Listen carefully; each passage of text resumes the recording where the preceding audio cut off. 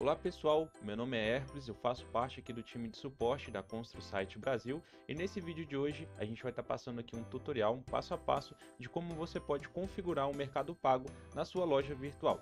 Antes de a gente começar pessoal, a gente precisa preparar então um ambiente para a gente conseguir configurar, ou seja, você precisa estar logado a sua conta no Galaxy Commerce e também você precisa estar logado na sua conta no Mercado Pago, tá pessoal? Então deixei aqui logado para a gente já iniciar com a configuração.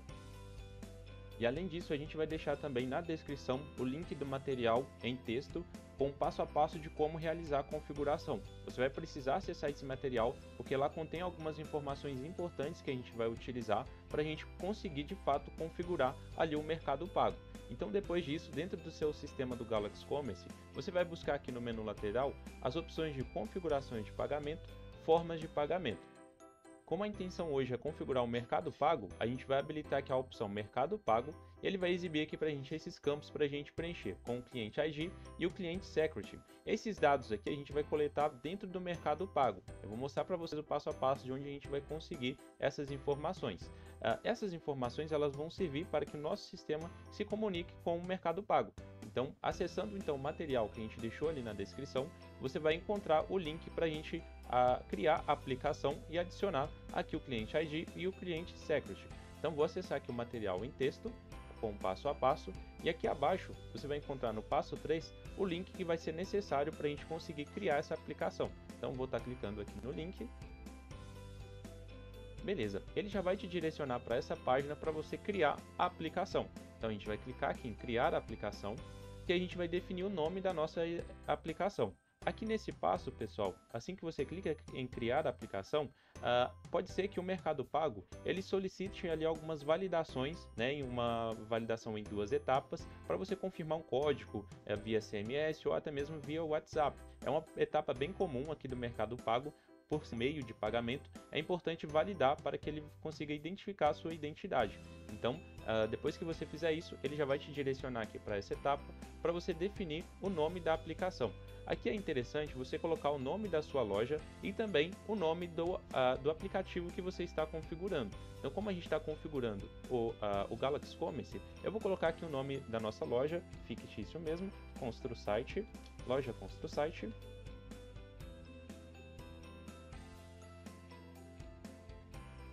Depois disso, a gente precisa sinalizar qual é a solução de pagamento que a gente quer integrar. Eu seleciono aqui a opção de pagamentos online Está utilizando alguma plataforma de e-commerce? Sim. E aqui eu seleciono a plataforma.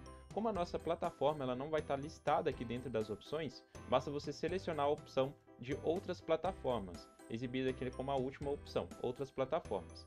E aqui você vai selecionar o tipo de produto que você vai estar integrando. Né?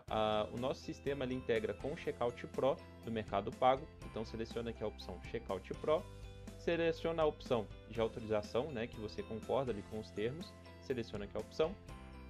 A opção não sou o robô. Depois de criado ali a aplicação, ele vai direcionar para essa página. Aí é só você estar tá clicando aqui neste link de credenciais de produção, que seria o próximo passo.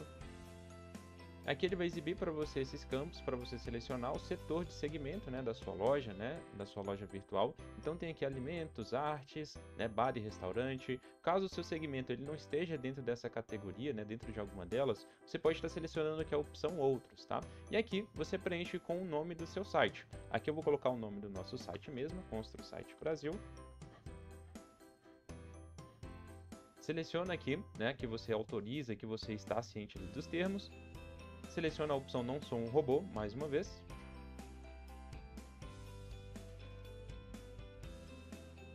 Beleza, e agora eu ativo aqui as credenciais de produção.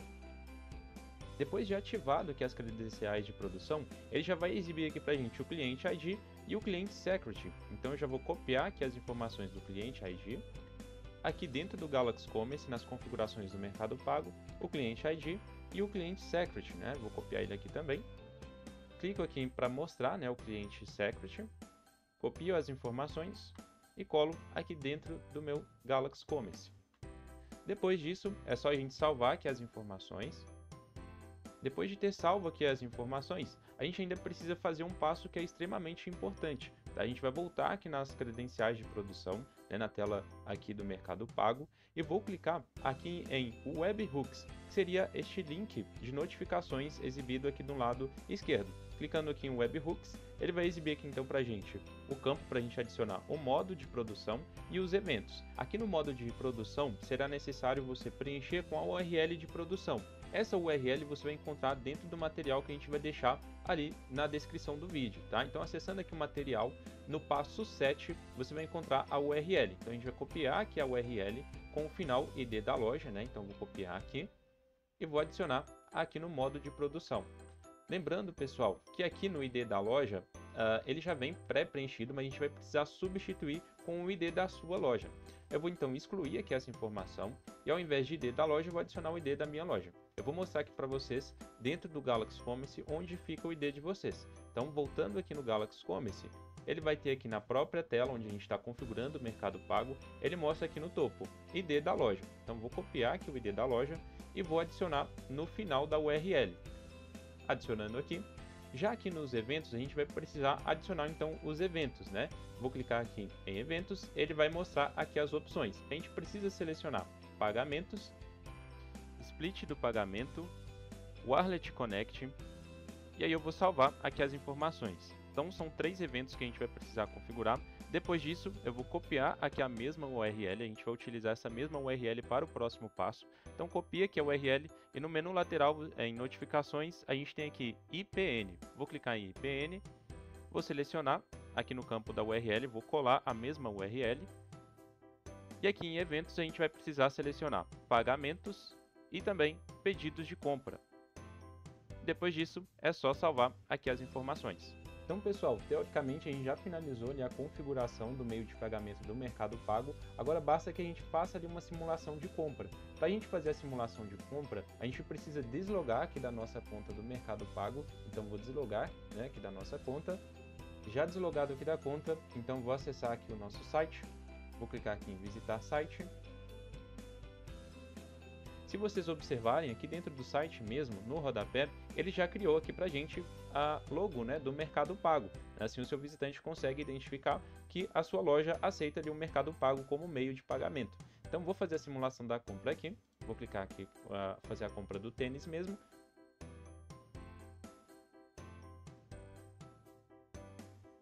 Beleza, então se você for observar, aqui dentro dos meios de pagamento que está configurado na nossa loja, a gente já consegue ver aqui o Mercado Pago. Então seu visitante já consegue selecionar aqui o Mercado Pago como meio de pagamento, clicando aqui na opção de não sou um robô, clicando em efetuar o pagamento, o seu visitante então já será direcionado aqui para o checkout do Mercado Pago. Aqui vai ser exibido então as opções para ele efetuar de fato o pagamento, como cartão, Pix ou boleto bancário. Caso tenha alguma dessas opções que você não deseja oferecer para o seu visitante, você precisa configurar dentro da sua conta do Mercado Pago mesmo. A nossa integração com o Mercado Pago funciona com o checkout externo, ou seja, quando o seu visitante clica no botão de efetuar o pagamento, ele é redirecionado para essa página onde ele vai de fato finalizar ali a compra, né? Então, pessoal, a gente chega aqui ao fim da configuração do Mercado Pago na loja. É importante também vocês consultarem previamente com relação às taxas e as condições de parcelamento que você pode oferecer utilizando esse meio de pagamento com o Mercado Pago. Então, vocês podem consultar através do site do Mercado Pago ou vocês podem estar acionando o suporte dele deles também. Então nós chegamos aqui ao fim do nosso tutorial de hoje. Caso vocês tenham ficado com alguma dúvida em algum desses passos que eu apresentei aqui para vocês, vocês podem estar entrando em contato com o nosso time de suporte através do WhatsApp, ligação ou através de e-mail. Então vou ficando por aqui, pessoal. Um abraço para vocês e até a próxima.